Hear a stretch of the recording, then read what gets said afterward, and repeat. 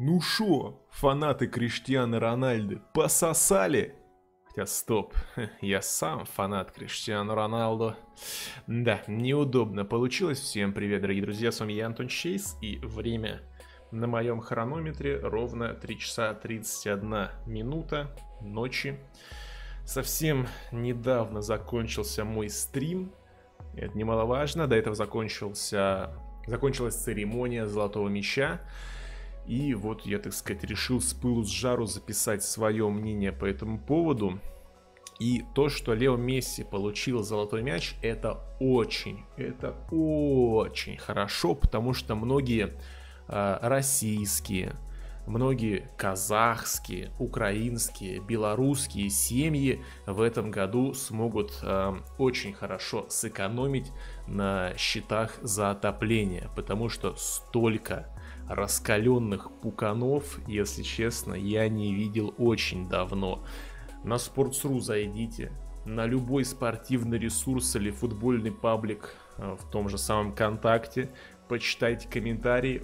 О, мама мия, что там происходит? Как будто вот цветомузыка с моим шарфом, видите, он мигает иногда. А может у меня уже галлюцинации. Спать скоро пора. Так вот, э, я сегодня не сильно хочу рассуждать, заслужил ли Лео Месси золотой мяч или нет, потому что будем откровенны, будем откровенны, что Месси, что Левандовский именно в этом году, в 21-м, фармили на говне. Да, один забивал там всяким Сент-Этьеном, нет, он не забил даже Сент-Этьена, ну, в общем, забивал там непонятно кому, там Боливии на копе заковырял, да, в финале был никакущий, другой забивал всяким Аугсбургом, Грейтерфюртом, в общем, ну вот, не было футболиста в, именно в этом году, который прям вот показал нечто невероятное, да, который прям был выше на голову, поэтому, ну, это такой себе спор, и мне обидно, что мой любимый футболист Дмитрий Сычев больше никогда не получит золотой мяч. Давно до этого не получал. Но а, в чем же причина такого мощнейшего бугурта? Я думаю, что вы все в курсе, да, потому что многие хотели, многие ждали, чтобы именно Левандовский получил золотой мяч в этом году, а, ну, по совокупности двух последних лет. И почему-то многие связи с тем, что он его не получил, обрушили свой гнев именно на Лео Месси. И меня это немножко удивило, потому что а в чем его вина? Для него год был тяжелый в плане того, что с Барса расстался, все дела, но даже там а, он э, лучше бомбардира чемпионата Испании, кубок взял. И Копу наконец-то со 125 попытки он наконец-то выиграл эту Копу великолепную. Хотя, лично мое мнение, что Копа, ну, такой себе турнир, плюс его там сколько раз 10 проводили за последние 10 лет. Ну, выиграл и выиграл, бог бы с ним, да? А, Левандовский в этом году что там, взял в сотый раз Бундес лигу, да и все, да, то есть, ну там кубок или нет, кубок, по-моему, они не взяли, точно не скажу. Ну, на Евро без шансов, хотя он там забил несколько голов, в общем, пытался как мог, но со сборной совсем не повезло Левандовски, то есть допустим, играем за сборную Германии, мне кажется, там возможно было бы при желании какие-то подвязки найти. Мне кажется, он бы и уже и до этого взял бы несколько золотых мячей. Вот. И я забыл, что, что я говорю. В 3 часа ночи, друзья, такое бывает. Так вот, я не понимаю претензий именно к Лео Месси. Пишите о том, что именно Франц Футбол э, втрепал говна, потому что я не понимаю, про, загадки вселенной, да? Это куда деваются пельмени из моего холодильника по ночам? И второе, почему нельзя было дать золотой мяч за позапрошлый, вот за 2020 год, когда реально Левандовский выиграл ЛЧ, все на свете выиграл, молодец. То есть, окей, да, сезон стопанулся, на большой срок отложили, но в итоге по факту-то они его доиграли. Окей, ну дайте золотой мяч попозже, дайте его сегодня. Две награды. Просто единственная моя теория, ну, кроме того, что это просто какой-то бред, который, ну, никак не объяснить. Единственная теория, то, что Франц Футбол стало обидно, то, что ПСЖ э, впервые, дойдя до финала ЛЧ, проиграли именно Баварии.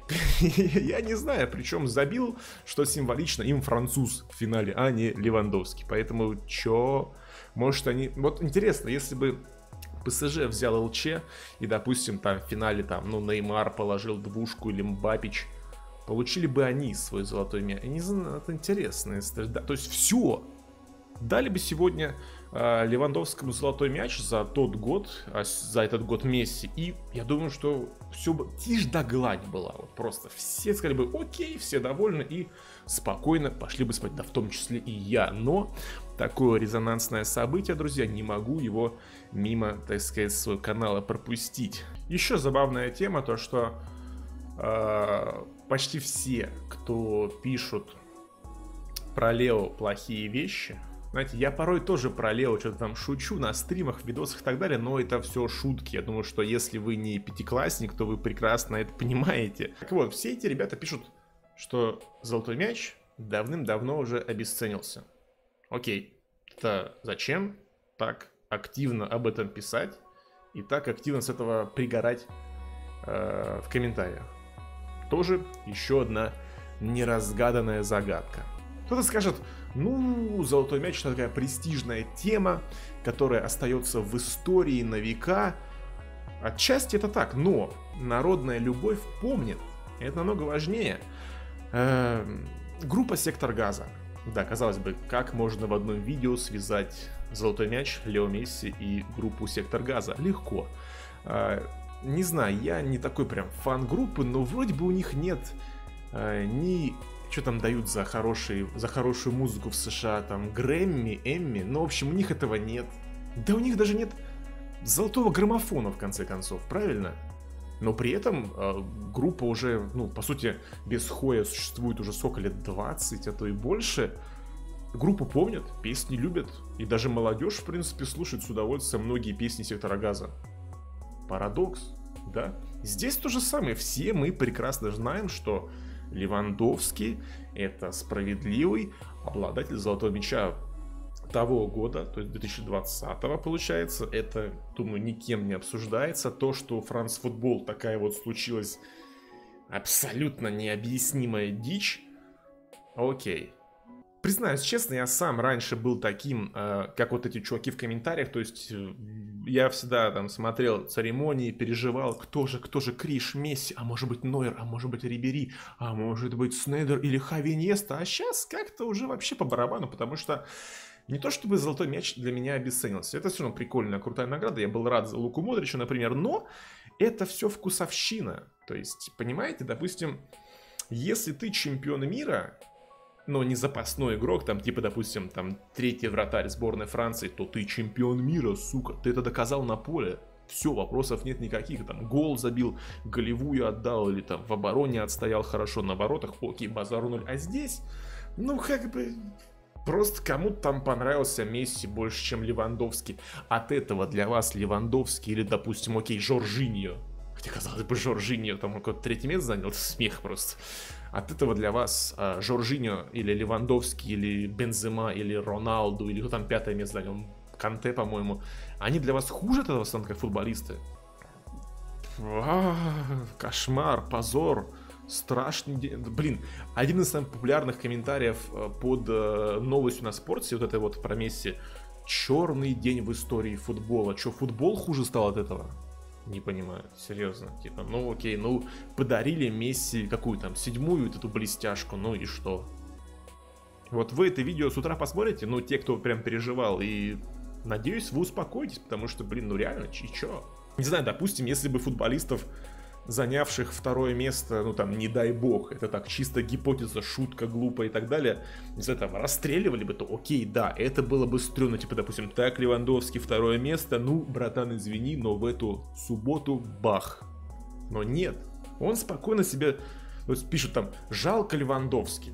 Блин, чувак сейчас спокойно домой к себе поедет, не знаю, там, обнимет э, кубок чемпионов, 28 кубков э, чемпионства Германии и ляжет спать с красавицей женой. Да, скорее всего ему обидно, скорее всего он переживает, но, блин, я думаю, что настоящие профессионалы типа Левандовский, у них своя психология, я не думаю, что он по этому поводу будет прям долго загружаться. Плюс я про Левандовский много читал, он, он очень такой запаристый человек, э, типа спит на, по-моему, правом или на... Нет, на левом боку, чтобы его правая нога отдыхала. Короче, там такие темы тоже лютые, собственно, поэтому он машина.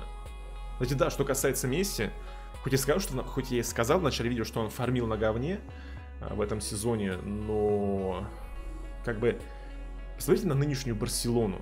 Это ж просто футбольный труп. Какое-то место занимает э, в чемпионе Испании 8 10 это все. А по сути, по составу та же самая команда, что была год назад, просто без Месси. Все. Но при этом Месси в том сезоне цепанул Кубок Испании. В чемпе был э, лучший по голам и ассистам, по-моему, если опять-таки не путаю цифр, но не так важно. То есть, если Левандовский играет прям в машине, то есть Бавария это тупо машина, которая всех сносит в чемпе просто без шансов, то Месси играл, я не знаю, просто в каком-то развалившемся бобике, просто с сгнившим э, днищем просто, но при этом был хорош. Я сегодня ни слова не сказал про Роналду. Вот сказал и все. Я болельщик мадридского Реала, признаюсь. Если вдруг вы не знали, я люблю Криштиану, все дела, но понятно, что в этом сезоне, ну, без шансов. Да и, скорее всего, уже все. То есть он свои пять мячей взял, и все, это конец. Вот у него, скорее всего, сейчас свербит... Блин, а возможно, слушайте, а возможно, это именно Криштиану-то и создал армию ботов, которые говнят Месси в комментариях. Я распутал это дельце, этот клубок. Жесть, я крут. Ладно, на самом деле все это, конечно, шутки, чуваки. В общем, возможно, какой-то воды налил, возможно, каши, но опять-таки на время посмотреть. В общем, как-то так, друзья. Всем добра и позитива. Любите друг друга. Любите маму, папу, бабушку, там кошечка, собачка, футбол. А самое главное, меня. Всем пока. Целую, обнимаю. Спокойной ночи. Ну, точнее, доброе утро, добрый день. Ну, вы поняли, пока.